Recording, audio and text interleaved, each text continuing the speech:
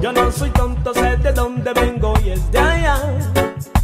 Tierra sagrada, no necesito libros hechos por la humanidad. No, no, no, no, no, no, no. Eso del todo no me va a regresar.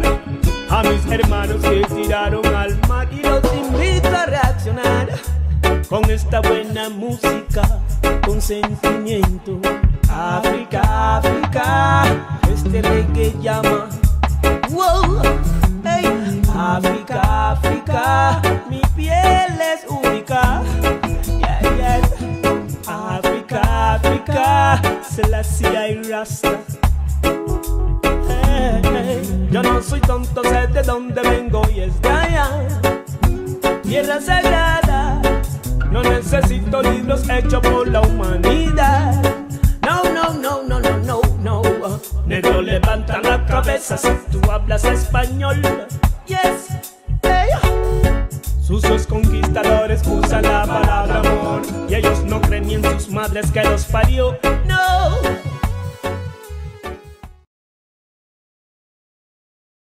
y que ha sido también un factor muy importante, por ejemplo, en España, de donde se crea la Cuarta Panafricanista, donde nosotros pertenecemos, donde pertenece el movimiento panafricanista argentino, el, chileno y demás, la Cuarta Panafricanista, que ha contribuido a la, a la, a- la, a la creación que sale desde España, de los del, del movimiento Panteras Negras de España, de los movimientos que también Rastafari, los, ras- los Rastafaris también son panafricanistas, ellos se basan en, la, en la- en la ideología, en las enseñanzas de Marcus Garvey. Marcus Garvey era un jamaiquino que mm, luego se va a vivir a Estados Unidos, pero él mientras estuvo viviendo en Jamaica, era de padres negros, estuvo viviendo en Jamaica, él, él fue criado con gente blanca y él no sufría discriminación, él se da cuenta de la diferencia del negro y el blanco cuando él se va a Europa y llega a Londres y se da cuenta que él es negro, o sea, que a él le dicen negro. Y de ahí empieza su, eh, su, su pregunta, ¿no? De que por qué me discriminan, de que por qué, o sea, de que por qué había esa discriminación en el mundo que él hasta cierto tiempo no la sufrió porque él fue criado con una vecina blanca que después la- lo separan de ella, la mandan a una escuela y sus padres le dicen, vos no te juntes con este negro. Y ahí él notó la diferencia, digamos, él supo que había una diferencia del negro con blanco, del negro y el blanco. Marcus Garvey lleva a la práctica, eh, hace una nación dentro de otra nación. En el momento en que Marcus Garvey forma, eh, transforma la mentalidad del negro, ¿en qué sentido? En que le da al negro el poder educativo y económico para saber que ellos son alguien, que somos alguien en el mundo, después de tantos años de esclavitud y de decirnos que nosotros no éramos nadie. Porque hay una cuestión acá que, que nadie trata, que nadie dice, pero es una cuestión que uno la trae como a nivel genético, a nivel de, que desde que nos sacaron de África y hasta el día de la fecha, los negros estamos acostumbrados a que nos digan que somos inferiores, que tenemos que mimetizarnos con el blanco, agradarle al blanco. De ahí sale todo este tema folclórico de que tenemos que andar bailando para que al blanco le guste y te saque foto y quizás te meta en, en un partido político que a vos te... O sea, ¿cuál es el problema? Somos de todos menos negros. Somos comunistas, somos Claro, socialistas, Se lo, se lo liga al arte, digamos. somos, claro, no se lo liga a la a la- lucha. claro. Y el negro no sabe muchas veces que nosotros tenemos una historia de lucha. Marcus Garvey decía, obviamente, ¿te imaginas? Que hemos resistido, hemos resistido a la, al, al- en, en cada país donde nos han dispersado, hemos resistido, hemos luchado por nuestra libertad. Y Marcus Garvey decía que un pueblo que no conoce su cultura, sus orígenes, es como un árbol sin raíces. Y qué mejor que ir rompiendo esa cultura solamente dejando que el negro baile en épocas de carnaval. O justo el día de las colectividades. Donde si vos sos de la colectividad africana, y bueno, presenta tu comida. No, yo quiero presentar a Steve Biko que luchó por nuestros derechos en África a la par de Nelson Mandela. Yo quiero presentar a Winnie Mandela, que fue una eh, afrofeminista que si no fuese por ella y otras afrofeministas que nadie conoce y son invisibilizadas por las feministas hoy en día blancas, no estaríamos acá hoy hablando de afrofeminismo, hablando de la lucha, eh, hablando de lo importante que es la mujer negra hoy en día en, en la lucha del panafricanismo, es el sostén del panafricanismo. Pero sin embargo tenemos referentes blancos, referentes europeos. No, conocemos, ah, no conocemos a Irene Yamba, que murió hace poco en España, em, que era, era una activista eh, de Guinea Ecuatorial, que escribió muchos libros. No conocemos la labor de Winnie Mandela. Eh, no conocemos la labor de la esposa de Marcus Garvey, muy importante para el movimiento panafricanista y para las mujeres panafricanistas, para el, para el afrofeminismo panafricanista. No lo conocemos, entonces estamos como quien dice, como desprovistos, como, em, como en pañales todavía, estamos como, no conocemos nuestras raíces no conocemos nuestras luchas de base que no empezaron con Obama ni con la esposa de Obama, empezaron en África, o sea, la esposa de Obama es una consecuencia de la política, de la política de un gobierno que pone un negro para que crea que para que los negros del mundo creamos que estamos representados por otro negro, pero es mentira, porque ese negro responde a todas las necesidades de los blancos. No es un Nelson Mandela, no es un Tomás Shankara, no, porque si no estaría muerto. Así de fácil, o sea, nuestros referentes tenemos que conocerlos y tenemos que mm, primero reconocernos como negros dentro de una sociedad en la que nos hemos tenido que acomodar para agradar más, para pasar desapercibidos y nuestra cultura quizás dejarla detrás, nuestra historia dejarla detrás y bueno, eh, solamente darla a la luz en épocas de festividad. Eh, el movimiento panafricanista em, es, muy importante porque eh, nosotros siempre, siempre reivindicamos las luchas de base.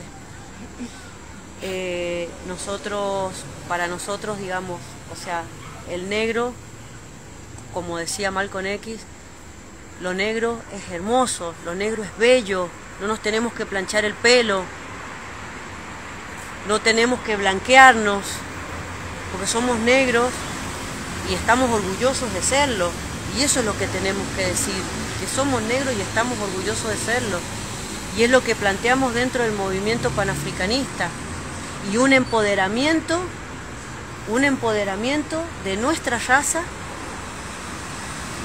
para poder salir a flote, para poder lograr no que nos den un lugar en el mundo, sino decir, nosotros tenemos poder porque tenemos poder, tenemos un continente lleno de, recursos naturales increíbles, que está siendo empobrecido, estamos siendo empobrecidos, saqueados, y sin embargo nos dicen que somos pobres. No, no somos pobres.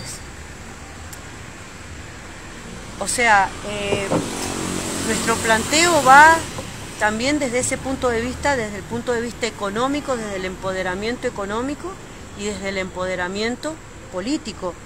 Eh, no somos solamente sujetos de, eh, folclóricos, sino somos sujetos políticos no somos que nos van a estudiar como hacían en esa época, ¿no? De allá del colonialismo, que te llevaban un negro, le estudiaban a ver los dientes, cómo era, cómo... Sin ir más lejos, en España hay un museo donde había un, negro disecado y la gente lo veía y lo porque era una rareza y un hermano panafricanista hoy fallecido, Alfonso Arcelín, fue quien luchó para sacar ese hermano de ahí porque nosotros no somos objetos de, estudio antropológico, no somos rarezas.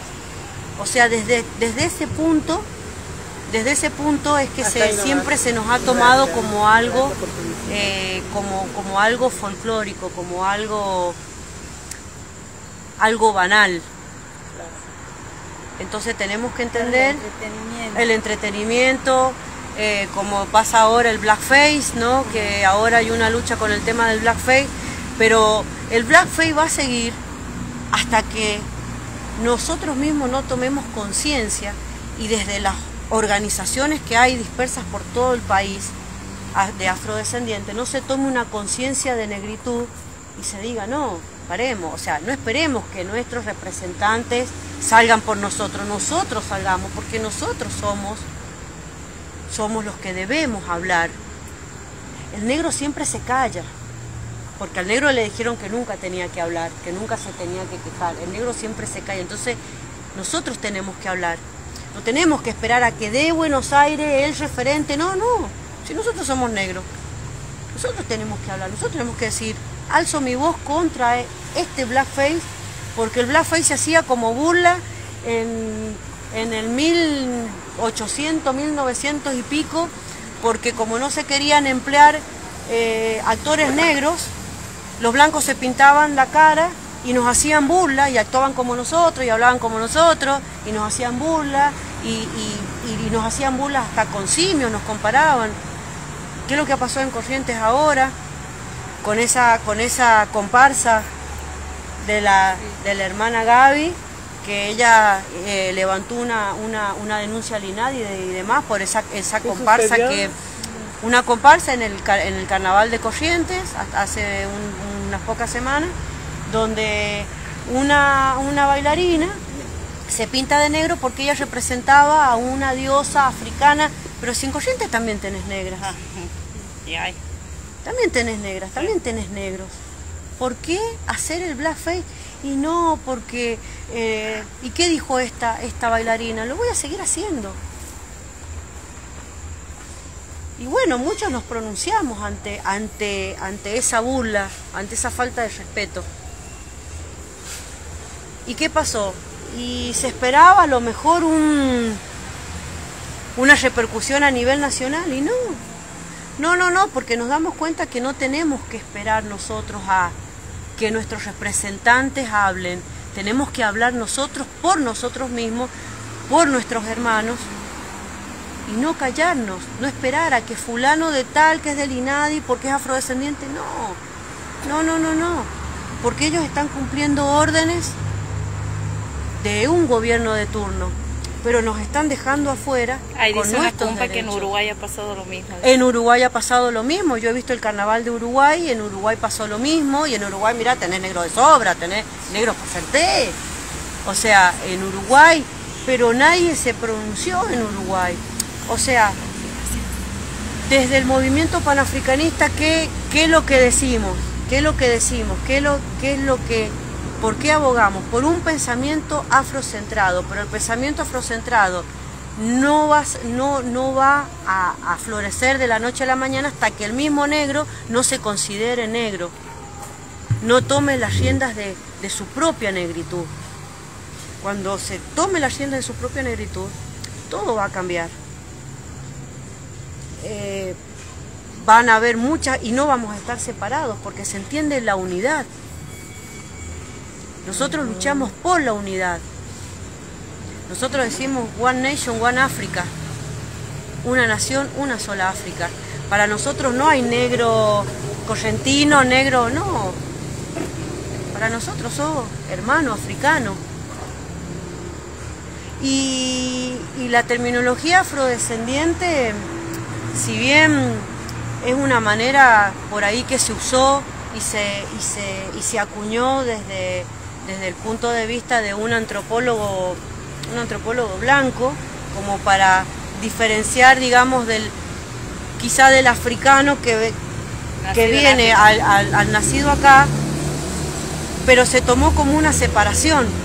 Entonces el afrodescendiente ahora cree que no tiene nada que ver con el negro de África y sí tenemos todo que ver.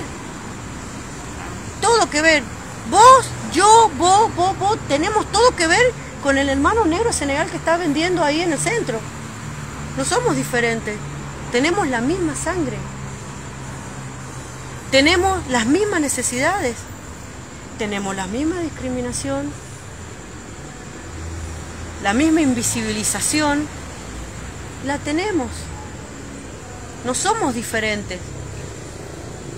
Entonces eso es lo que tenemos que entender y lo que entendemos desde el panafricanismo. Y lo que queremos mostrar desde el panafricanismo. Que todos somos uno. Todos los negros somos uno. No todos los negros son panafricanistas, como no todos los negros son... No. Pero los que sí tenemos nuestra conciencia panafricanista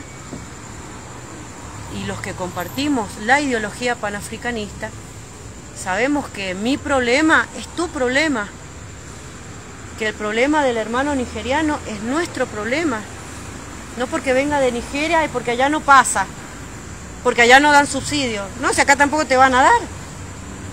O sea, porque sos negro no te van a dar porque sos negro. Entender que todos somos uno y que, y que, y que la unidad y como dice la palabra ahora que se usa mucho empoderamiento del negro es ese, pero no solamente empoderamiento con la palabra, tenemos que tener empoderamiento político y económico. Y el empoderamiento político va a partir muchas veces de la base, no de quizás de un afrodescendiente que tengamos supuestamente representándonos en un gobierno de turno, sino, como lo dice la palabra, del quilombo, de la raíz, de abajo, de la juntada, de la organización. Te mandan saludos desde Córdoba. Ah, la... mira. Así que... Él es un hermano también haitiano, este, está viviendo ahí en, en Córdoba, también lo conocido, también es eh, a Lupe. Ah. Este, bueno, él también tiene una militancia eh, eh, ahí en Córdoba está, está trabajando también mucho. Eh, bueno, está ahora la parte de lo que es la, la, parte cultural afro, que se abre en abril ahora. Este, así que bueno, eh, te mando saludos. muchas gracias, muchas gracias. Y bueno, un ejemplo lo de Haití, lo que pasa en Haití. En Haití parece que a nadie, o sea, a ningún negro del mundo le toca, solamente es de Haití. Y estamos hablando de, de un de una isla donde... De, naciones, yo digo, Santiago, sí, claro. madre de Haití, madre de naciones, aclaro y acoto que mi padre es haitiano. Ah, mira. O sea que sí conozco Y estamos, y estamos hablando, y, y claro... La libertad de América Latina. ¿Vos te imaginás que nace sí, el, Totalmente, ahí. sí, sí. Totalmente. Esos son los genes revolucionarios que nos habitan y hoy en, desde mi lado, que así como les cuento de mi sobrina que no se nota claro. que es eh, africana, afro-argentina, ponele, si la claro, ves, claro. Y se nota en su ñata y se va a notar en cómo baile y un montón de cosas. De nosotros no se nota que también somos rubios por tu madre, nativos por tu abuelo, entonces nos habitan todos los colores y somos, si hay una raza, es la raza humana. Así lo siento Exacto. yo y allá vamos desde el panafricanismo al panuniversalismo, vamos paso a paso. Es que el panafricanismo es universal. Claro que sí. El panafricanismo claro es universal, porque el panafricanismo, eh, vos date cuenta que en los palenques, en las, en, en las plantaciones, cuando se armaban los palenques, los quilombos, habían, habían negros de todos lados de todas partes de África uh -huh. habían negros. No eran solamente ay, la plantación de algodón de Estados Unidos, de Luisiana. No, no, habían negros de todos lados. En, en, en, en Colombia habían negros de todos lados, de todas partes de África. Y es ahí donde surge el concepto de panafricanismo que, primero se llamó pan-negrismo y después se llamó pan-africanismo. Como te digo, si hablamos de Claro. marrones, queda mucha gente afuera. Lo que no nos gusta que nos hagan a nosotros, entre comillas, lo hacemos nosotros. Exactamente, Entonces, o nosotros. exactamente. Y si o vos sea, decís que me enseñó a luchar y a hacer la revolución del amor, además de mi genes y mis raíces, mi madre, Claro, que se combinó con un haitiano y bueno, Exacto. todo lo que lleva una combinación genética como es crear una nueva vida, negra dentro de tu vientre o morena y rubia a la vez. Entonces, eh, tenemos que llegar cuanto antes a sentirnos humanos todos, todos bailarines, todos con los mismos derechos, todos con las mismas posibilidades, sin distinción y sin dejar a nadie afuera. exacto, pero es que Porque de nuevo, Haití, una gracias a Haití, liberó toda Latinoamérica. Tenemos que dar gracias. Y de ahí exactamente. que- del mundo, de nuevo. Argentina es multicolor, multiracial, multicultural, multitalent. ¿eh? Por Salud eso, por eso. por eso eh, nuestra misión, nuestra misión no solamente desde el panafricanismo, sino también desde ustedes, eh, desde la afrodescendencia, eh, como afrodescendentes, debemos Mostrar salir, mostrar Eso. nosotros y mismos. reconocer nuestros talentos. ¿Qué talentos? Mu- Mucha gente te ve en la calle y va a decir, esta es bailarina. También. También, También. además de, también. Sí. Claro, debemos nosotros decirle al mundo que en Argentina sí hay negros, que la historia se tergiversó y se escribió a gusto y paladar, ¿no? De, de los del- del- de la política de turno. Los que, tenían- Eh, los que sabían escribir, los que tenían la plata para pagar el papel, la imprenta, etcétera, etcétera. El cuento de ellas. Bueno, hay otra parte de la historia Claro. que, que bueno Sarmiento- que Sarmiento para decía- y compartirla. Sarmiento decía en esa época, ¿te imaginas? Sarmiento decía en esa época, yo vivo en la provincia de Sarmiento, ¿te imaginas? Decía en esa época, Y te recibiste dentro en una de escuela con el dentro- título de Sarmiento. sea. Sarmiento, monumento, o sea, y no, no, no, y decía, y decía, dentro de 10 años van a tener que ir a Brasil para ver negros. Entonces todo ese, ese, ¿te imaginas? No tiene algo más genocida que eso, bueno, Bueno, ¿te imaginas? también esté esto de, que, de ir notando que se iba aclarando No, no, ¿sabes lo la que mistura y todo. No, se, no, Habrá claro. No, no, no. ¿Sabés lo que pasa que claro, Eso ¿sabés lo que pasa que la en esa claro, en esa en, en esa época, que era el 1840, el mil- el 1800 había un, eh, un, un plan, no solamente para la Argentina, sino para Latinoamérica, un plan de europeización para Latinoamérica. Eh, donde más se sufrió, digamos, eh, fue Argentina y Chile. Y, y ese plan fue llevado a cabo tanto por Sarmiento, lo siguió, lo siguió también O'Higgins, lo, lo siguió también Bolívar, Sí. lo siguió también San Martín, Mitre. ¿Mm? Entonces, eh, en- durante la, la- la presidencia de... eh, O'Higgins, claro. Bueno, Lo son que- miradas, son, Es que son versiones de la historia. Claro, es que en, en realidad no son versiones, es la historia que no nos contaron, porque esta historia, eh, los que digamos, los que hemos estudiado historia hace mucho, que nos enseñaban historia en el secundario, nunca nos enseñaron, por ejemplo, que Cabral era negro, que Rivadavia era, fue el primer presidente negro y que le decían a, a- a modo de burla el doctor Chocolate a Rivadavia.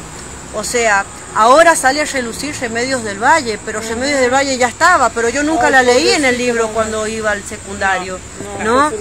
O sea, Sí. todo esto está surgiendo ahora, pero surge a un modo folclórico, no a un modo como tiene que surgir. Entonces, De los negros el derecho y todo. que los lo- lo negros tenemos, los negros argentinos, los negros de Argentina o que hemos nacido en este país, tenemos que entender que la historia fue tergiversada, fue dada vuelta por una cuestión, por un plan, un plan de europeización.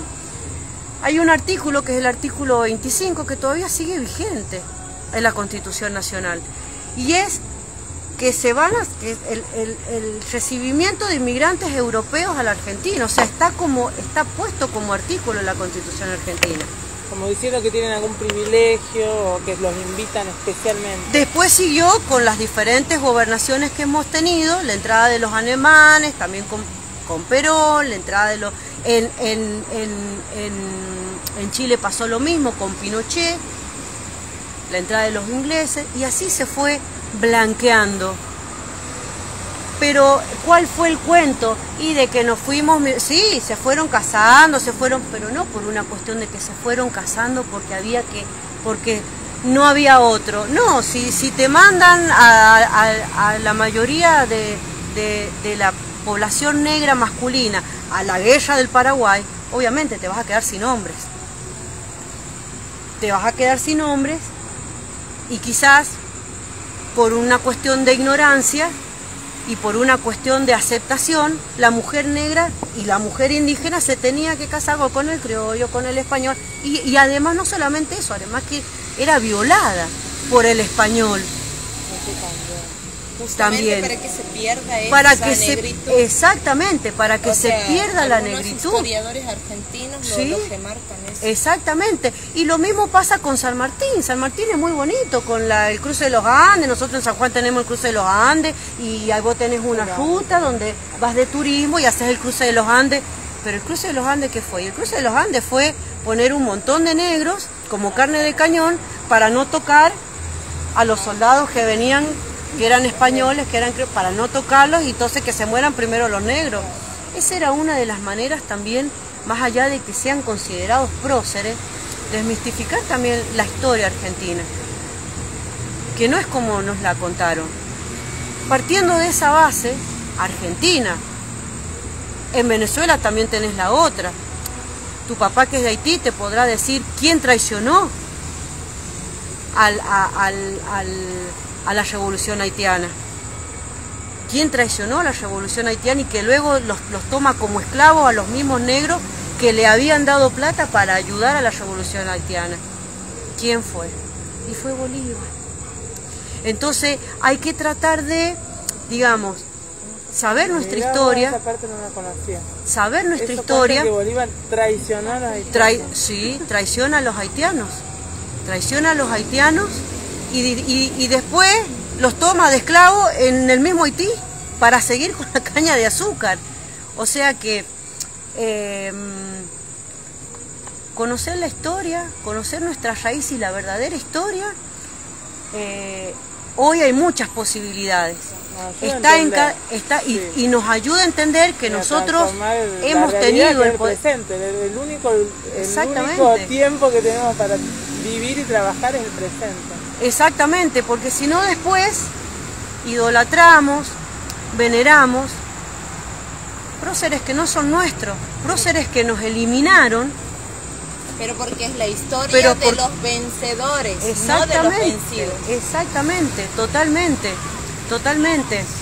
Y, y terminamos por desconocer el, quilombo en Colombia, en, en los el, palenque de San Basilio, ahí tenemos nuestro héroe, Bencos Viajós. Después tenemos eh, en, Zumbí en Brasil. Acá si queremos tenemos remedios, María Remedios. Que, enlace toda esta historia sí, sí, hay libros, hay libros. Hay libros de la historia negra, sí, hay libros sobre, sobre, sobre, sobre la revolución negra sobre la Revolución Negra, sobre nuestra historia, donde, donde te habla de todo esto. Y, y de ahí vos cuando, cuando vos lo lees, te das cuenta que de ahí nace el que por ahí uno conoce así como historias claro claro, exactamente. como de unir entre la exactamente. y... exactamente. Sumado, sumado que eso hay muchos muchos nombres muchas personas que nosotros desconocemos por la misma mezquindad de la, de la historia argentina me entiendes entonces eh, hay nombres que aparecen que nunca en nuestra vida ah, nunca lo hemos escuchado o también estos nombres que, que están ahí como un lado B de la historia pero no nos dicen que son personas negras, ¿me entiendes? También. Porque como lo que explicabas vos de Rivadavia, ¿me entiendes? O sea, Exactamente. Eh, me estoy entendiendo ahora, ¿me entiendes? O sea, son cuestiones que por ahí, bueno. Vos te imaginas que en mi provincia, donde es la provincia del maestro de América, porque trajo los primeros docentes a la Argentina y ah. demás, que vos digas que es racista, ya te condenas a muerte. O sea, yo dije en un programa de televisión que Sarmiento era racista. y casi me espera el Ku afuera del canal de televisión. ¿Entendés? Entonces, pero no importa, porque es la verdad. En algún momento hay que decirlo. Es la verdad. Y como negros no tenemos que tener miedo a decirlo.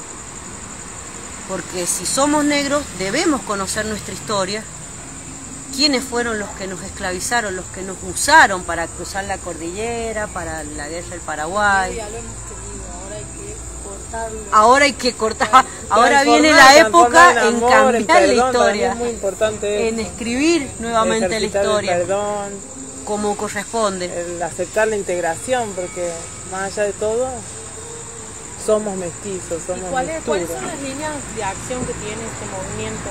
concretos así en lo económico, en lo político. Ajá, y justo, justo eso también preguntaba una chica. Claro. Decía cómo, y el problema económico, porque es una herramienta que también de empoderamiento. Totalmente. Por supuesto. Totalmente. Por, por, supuesto, que es lo que nosotros decimos. estudio te da otra fuerza totalmente.